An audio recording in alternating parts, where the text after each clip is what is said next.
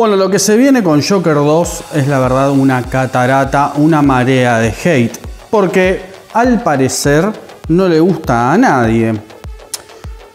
Vamos a estar viendo muchos, ¿sí? estén atentos, cuidado, advertencia, todos los influencers ¿no? que ya vieron la película una semana antes, hoy fue la van premier, así que Seguramente cuando veas este video ya está, va a estar todo inundado de críticas que se levanta el embargo.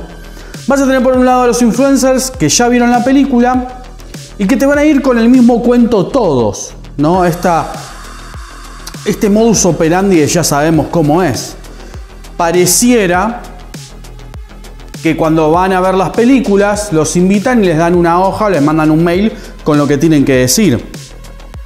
Porque el relato de Joker 2 es básicamente que Joaquín Phoenix es un actor increíble que merece un Oscar, que Lady Gaga se queda con una actuación maravillosa, impresionante, van a pedir el Lady Gaga Cat, van a pedir este, que, es, que es una lástima que Lady Gaga no haya podido desarrollar mucho más o que no aparezca tanto como debió, se supone que está. Lady Gaga también para un Oscar. Van a decir que la música es impresionante, que el musical no los convence, no saben si es un musical o no.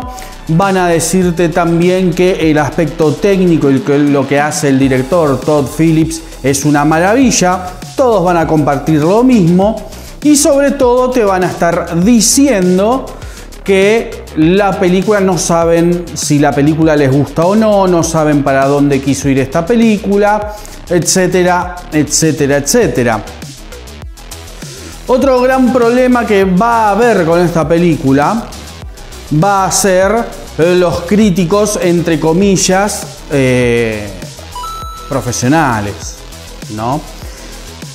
Yo ahí estaba viendo a Néstor, que lo, queremos un montón a Néstor, pero también vi otras cosas en Twitter en idioma inglés que estaban llorando porque recién hoy les dieron la van premier a ellos, a los críticos, y que Warner, o sea, se le están dando vuelta a Warner, los críticos estos que la mayoría bancan todas las, las porquerías que hace Warner, les ponen buena nota o nota regular, cuando en realidad son basofia pura y dura, son unas mierdas de películas.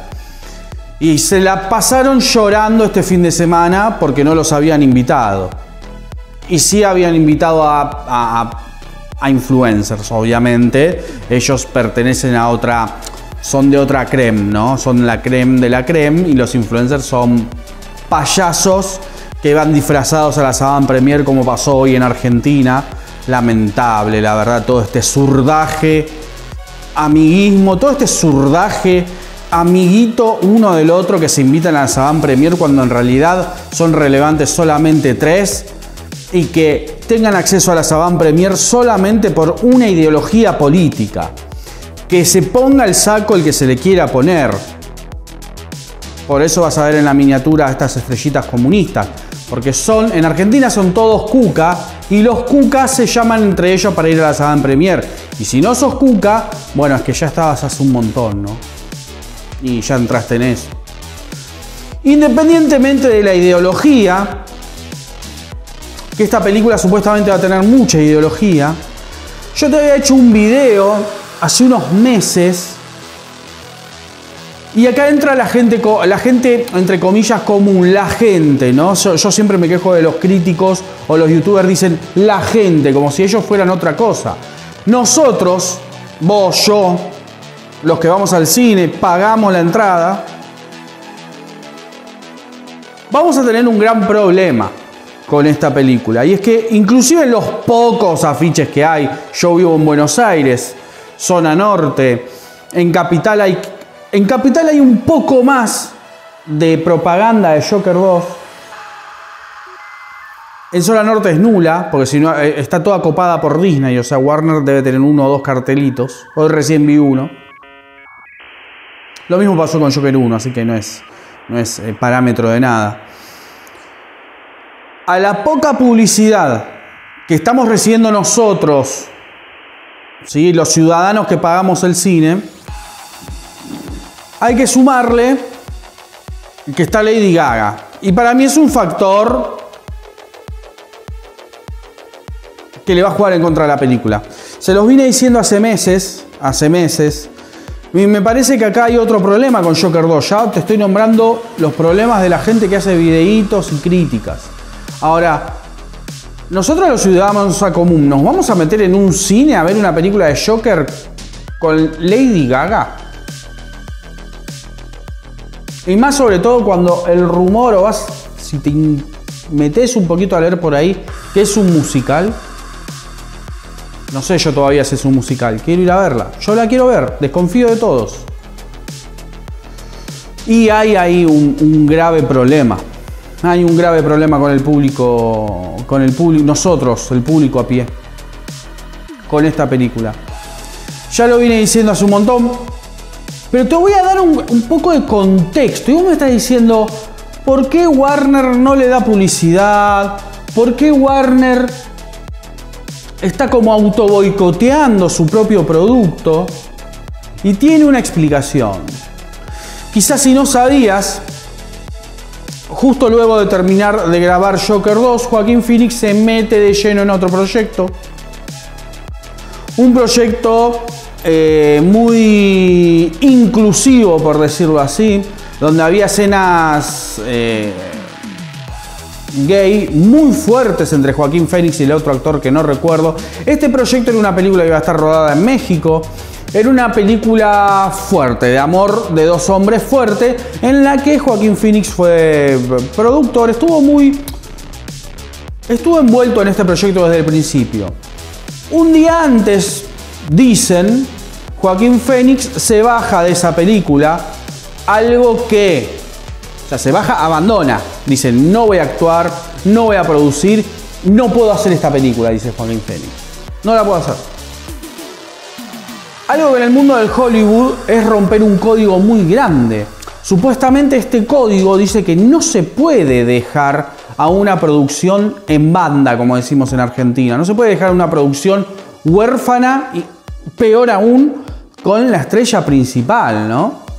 El tipo se fue, le chupó un huevo todo y ya llega a Cannes totalmente eh, con Joker 2, que recibió un premio, ¿no? Entre paréntesis, los críticos europeos no saben una chota, pero los demás críticos del mundo sí. Por eso Rotten Tomatoes tiene un 60. Es raro, es raro todo. Ustedes ya saben por dónde viene la mano. Cuestión que ya me fue un poco de tema. Lo están le están haciendo pagar a Joaquín Fénix el abandono de esta producción. El ambiente, la porquería, lo pútrido de Hollywood lo está ajusticiando, eh, ajusticiando a nivel profesional a Joaquín Fénix. No te quepa ninguna duda ninguna duda. Y más cuando se está jugando las presidenciales de Estados Unidos. Tema fuerte. Vamos a ver qué quiso hacer Todd Phillips, el director de Joker 2, con todo el tema político. Porque saben que Joker 1 jugó muy a la línea con el tema político. Jugó con esto de romper el status quo, el orden, gente idolatrando figuras que los trumpistas lo tomaron para su lado y los, los progresistas lo tomaron para su lado. O sea, es una película difícil desde el lado político o el mensaje. Si viste, porque ahora todos son filósofos de las películas. Esta raza boba que apareció gracias a YouTube, que le encuentran la filosofía a todas las películas cuando en realidad no tienen, la no tienen filosofía. El director quiso poner eso y puso eso. Y después tenés a bobaos que están por ahí diciendo, te explico la película o la filosofía detrás de, la película. Alguien tiene cosas de niche este, y cosas así que uno se, se agarra la cabeza y dice por el amor de Dios, ¿qué está pasando acá? Yo quería ver una película de Alien y me entero que hay cinco filósofos que describen perfectamente a Alien, o sea, una cosa impresionante y al Joker debe haber 20 filósofos cinco psicoanalistas y 20 críticos de cine que te dice, te explican, te van a salir a explicar lo que es Joker, ¿no? Y todos agradeciéndole a Warner Brothers. Entonces, para resumir, todos los influencers van a decir lo mismo, las gallinitas, las focas aplaudidoras, van a, tienen todos el mismo resumen dictado por Warner. Todos van a decir lo mismo. Los críticos ya están enojados porque no les dieron los beneplácitos que pensaban, no invitaron a nadie a Warner, a las instalaciones de Warner, no invitaron a nadie al teatro chino, yo que sé dónde mierda los invitan. Y entonces ya tenés a los críticos enojados, tenés a la gente que está prácticamente em, dudando de que esto sea bueno, ¿no? Eh, la gente y nosotros tenemos, vamos a, ver Joker, yo creo que la gente la va a ir a ver, creo que va a alcanzar unos 600 fácil, que es un éxito, ¿eh? pero la gente va a ir con pie de plomo, no va a ser una cosa tan masiva y Lady Gaga es un gran, un, gran problema en esta cinta, sin lugar a dudas, estoy convencido, convencido. Y el otro gran problema, el quinto problema es que, mm, que a Joaquín Fénix se la juró toda, toda la industria y sin lugar a dudas eh, esto hace que Warner no dé tanta fuerza a un producto que debería estar over the top y debería estar por las nubes. Y la última, la última es que los influencers que están, eh, los tontos del fandom, los que aman a Zack Snyder odian obviamente la Joker 1, van a odiar Joker 2 los tontos de amantes de James Gunn van a odiar todo lo que no venga de James Gunn. A las pruebas me remito, busquen el youtuber que quieran buscar. Si es fanático de James Gunn y de, la película que todavía no existe, la van a odiar, la, la, van a odiar, o sea, no les va a gustar Joker 2. Y a los fans de Snyder, obviamente no les va a gustar Joker 2 porque básicamente son dos grupos tontitos. Entonces, a nadie le gusta hasta ahora, veremos a partir del jueves, a nadie le gusta hasta ahora Joker 2, no vi ningún video de alguien que diga esto está buenísimo, compro. Y se viene una telita, porque me spoileé, telita marinera, como dicen los españoles, con el final, un final polemiquísimo del cual me cagué spoileando porque tengan cuidado, la nueva, la buena nueva es que ahora te hacen dibujos con las escenas finales de las películas. Tocate las bolas, sí, sí, sí. Agarrate bien los dos huevos. Increíble. Increíble lo que se está viviendo.